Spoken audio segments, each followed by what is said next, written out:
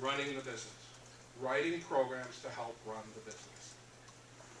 Business intelligence is about understanding the business and predicting the future of the business. You understand the difference? Ninety-five percent of IT jobs are up here, running the business. Okay? Only five percent of the jobs are down here, understanding and predicting the future.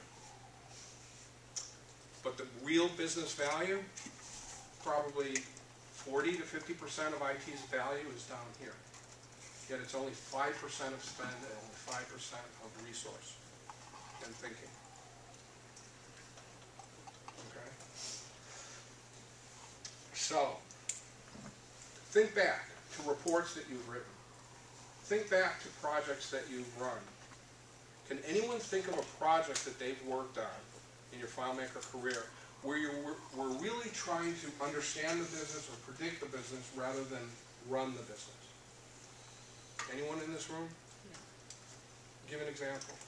Uh, I mean, when I'm programming thing, I'm, something, I'm trying to think about what this company is going to be needing in the future for this program and not necessarily what they need at that moment. Okay, but what you're thinking about is the future of running the business. Okay, Okay? That's not what we're talking about. okay, We're actually talking about the future of the business itself. Okay? Questions like, are we in the right business? Are we doing things the right way? Are we making enough money? Are we making any money? All right? Because the, the- the accountants, do they tell us whether we're making money? No. They're telling us whether or not we're meeting government rules and regulations and doing things from a correct financial perspective. That doesn't mean whether we're actually making money or not. Right? Because there are other business rules that the government doesn't allow that can tell us whether we're making money or not. Because there are certain things that, that accountants cannot include in their calculations. For example, if you purchase a stock and the stock goes up in value, okay, has the company made money? According to the accountant, not until you sell it. Okay? Unless you are a trading firm and then you do mark to market on a day by day basis. Okay? But if you're a normal company and you've done an investment with some temporary cash, you can't record any increase in, or decrease in that until you actually close out the transaction. Another good example is property. You're actually decreasing, according to the accountant, the value of your property. You're depreciating it down to zero. In the meantime, the real estate market, hopefully, over the course of 18, 20 years, is making that property more and more valuable. Where's that recorded on your balance sheet? It's not. It's nowhere there. Okay? So there are business intelligence practices that say we can include that information and make it part of our business model. But from a financial perspective, the government forbids accountants from doing that. But we're not accountants. Okay? So here's Markham. Measurements, analytics, reporting, collaboration, and knowledge management. By the way, you're all going to get a copy of this presentation. Don't worry. Okay? Just write down things that come to your mind. Hmm? It's available now. It's available now, I guess. Okay. So, measurements is not metrics. Okay? Analytics is not analysis. Reporting is not operational reporting. Okay? So all the things that you probably think these are, that's not what they are. They're something slightly different. And we're going to go through that. So, measurement. Remember I said measurement is not metrics, and yet the first thing up there under measurement is metrics. a metric is a quanti quantitative indicator of a specific attribute of the business. Okay? A quantitative. That's the, the first very important word. Quantitative.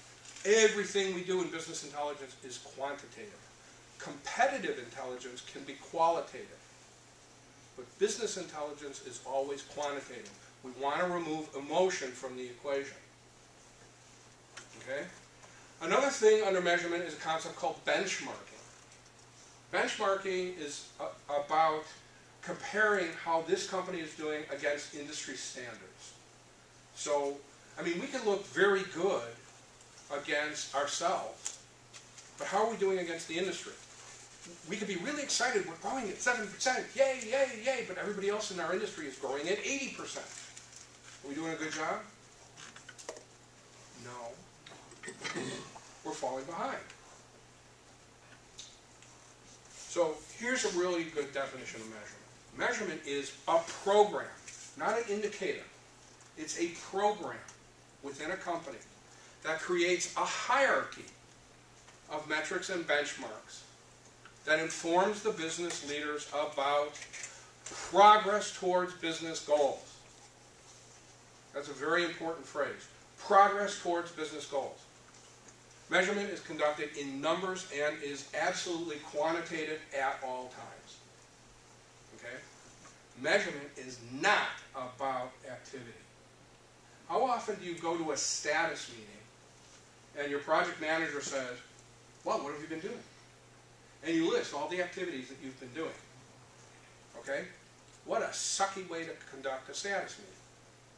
Because the real question to act, ask is, how close are you to finishing? Progress is what they're after, not activity. I don't care if you spent 100 hours figuring something out. I don't care how many tests you ran. What I care about is how close are you to completion? What's your level of quality? Okay? How many more resources do you need? How much more time do you need? Measurement is about progress, not activity.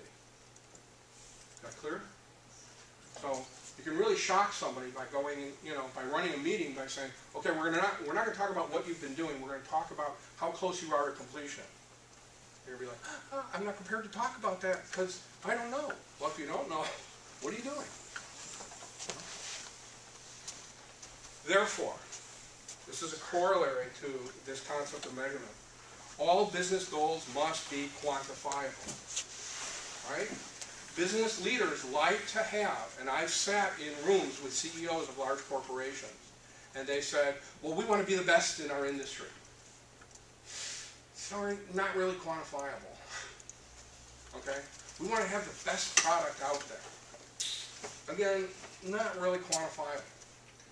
You want to improve the quality compared to next, last year based on the number of complaints that you get, that I can quantify. You want improvement in quality, that I can quantify. Being the best, being the industry leader, those aren't quantifiable to me. Okay? That's competitive intelligence. That involves inference, not quantifying a number. That's qualitative in nature. So you never want your business goals to be qualitative. You want them to be quantitative. Is that clear? Mm-hmm. Great. So, to make your reports a little better, by the way, when you're writing reports, instead of reporting on how many of this got done or how many of that got done, report on here's over the last week how we've done and here's how we are compared to last week. Benchmarking against yourself.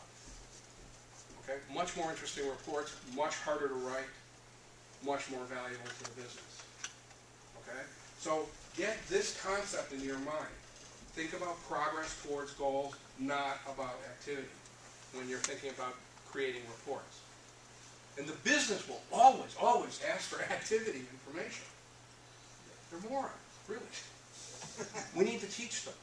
We need to show them the golden path. All right? So, measurement and performance improvement. This is, again, kind of out of Wikipedia. There's concepts like performance improvement, organizational development, organizational behavior and infrastructure, organizational effectiveness, organizational efficacy. Yeah, yeah, yeah, go look them up. This is where measurement comes to play. Okay? Are whole programs within large corporations that, that you can get involved in and contribute to. Okay. Now, I've been talking about measurement as a hierarchy, and I bet you've been visualizing